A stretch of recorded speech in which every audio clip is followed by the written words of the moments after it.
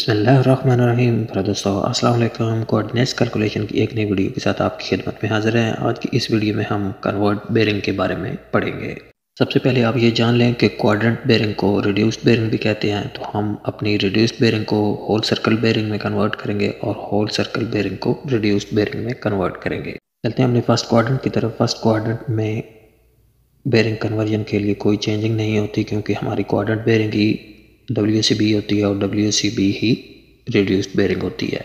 Next अब हम चलते हैं सेकंड क्वाड्रेंट की तरफ़। सेकंड क्वाड्रेंट की रिड्यूस्ड बेरिंग अगर हमें दी गई हो, यानी उसके साथ south to east direction mention की गई हो तो हम अपनी उस रिड्यूस्ड बेरिंग को 180 डिग्री में से माइनस करेंगे तो हमारे पास इस लाइन की डब्ल्यू सी बी कैलकुलेट हो जाएगी। तो यहाँ आप देखें, मेरे पास एक पॉइंट की लाइन ड्रा हुई हुई है, जिसकी जिसकी south to east reduced bearing 45 degree है तो मैंने अपने 180 डिग्री में से 45 डिग्री को माइनस करना है तो मेरी इस लाइन की whole circle bearing 135 degree calculate हो जाएगी।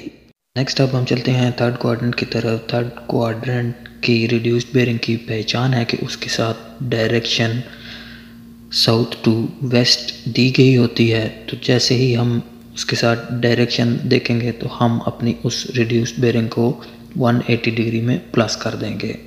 यहाँ आप देखें कि मेरी इस लाइन की reduced bearing south to west 45 degree है तो मैं अपनी इस रिड्यूस्ड बेरिंग को 180 डिग्री में ऐड करके अपनी इस लाइन की होल सर्कल बेरिंग कैलकुलेट करूँगा। तो यहाँ देखें कैलकुलेटर में 180 डिग्री प्लस 45 डिग्री करूँगा तो मेरी इस लाइन की होल सर्कल बेरिंग 225 कैलकुलेट हो जाएगी। नेक्स्ट अब हम चलते हैं फोर्थ क्वाड्रेंट की तरफ़। अगर हमारे पास फोर्थ क्वाड्रेंट में कोई पॉइंट दिए गया हो, जिसकी रिड्यूस्ड बेरिंग हमें नॉर्थ टू वेस्ट डायरेक्शन के साथ मेंशन की गई हो तो हम अपनी उस रिड्यूस्ड बेरिंग को 360 डिग्री में से माइनस करेंगे तो हमारी उस लाइन की होल सर्कल बेरिंग कैलकुलेट हो जाएगी तो मैं अपने इस रिड्यूस्ड बेरिंग 45 डिग्री को 360 डिग्री में से माइनस कर रहा हूँ तो मेरी इस लाइन की होल सर्कल बेरिंग 315 कैलकुलेट हो जाएगी।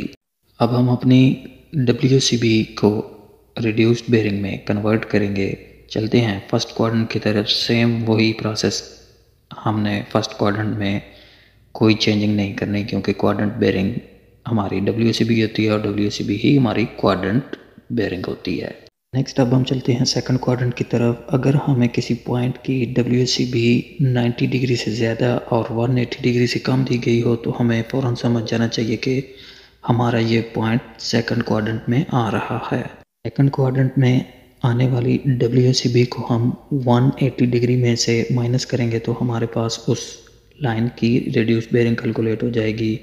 तो मैं अभी अपनी इस लाइन की 135 और सर्कल बेरिंग को 180 डिग्री में से माइनस करूँगा तो मेरी इस लाइन की 45 डिग्री रिड्यूस्ड बेरिंग कैलकुलेट हो जाएगी। नेक्स्ट अब हम चलते हैं थर्ड क्वाड्रेंट की तरफ़। अगर हमें किसी पॉइंट की डब्ल्यू सी भी 180 डिग्री से ज़्यादा और 270 डिग्री से कम दी गई हो तो हमें समझ आना चाहिए कि हमारा वो पॉइंट थर्ड क्वाड्रेंट में आ रहा है। थर्ड क्वाड्रेंट की डब्ल्यूसीबी को रिड्यूस बेरिंग में कन्वर्ट करने के लिए हम अपनी उस डब्ल्यूसीबी में से 180 डिग्री माइनस करेंगे तो हमारी उस लाइन की reduced bearing south to west calculate हो जाएगी। तो मैं अपनी 225 डिग्री में से 180 डिग्री माइनस कर रहा हूँ तो 45 डिग्री मेरी south to west reduced bearing calculate हो जाएगी।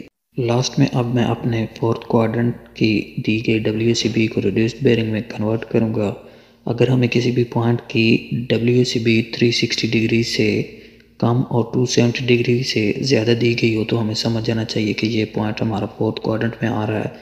तो हमें अपनी उस डब्ल्यू सी बी को थ्री सिक्सटी डिग्री में से माइनस करना होगा। तो मैं अपनी इस और सर्कल बेरिंग 315 को 360 डिग्री में से माइनस करूँगा तो मेरी इस पॉइंट की रिड्यूस्ड बेरिंग 45 डिग्री कैलकुलेट हो जाएगी। इंशाल्लाह हम अपनी नेक्स्ट वीडियो में फोर बेरिंग और बैक बेरिंग के बारे में पढ़ेंगे। तो अगर मेरी वीडियो आपको अच्छी लगे लाइक करें चैनल सब्सक्राइब करें बेल आइकॉन ज़रूर प्रेस करें, ताकि मेरी आने वाली हर नई वीडियो का नोटिफिकेशन आप तक पहुँच सके। शुक्रिया।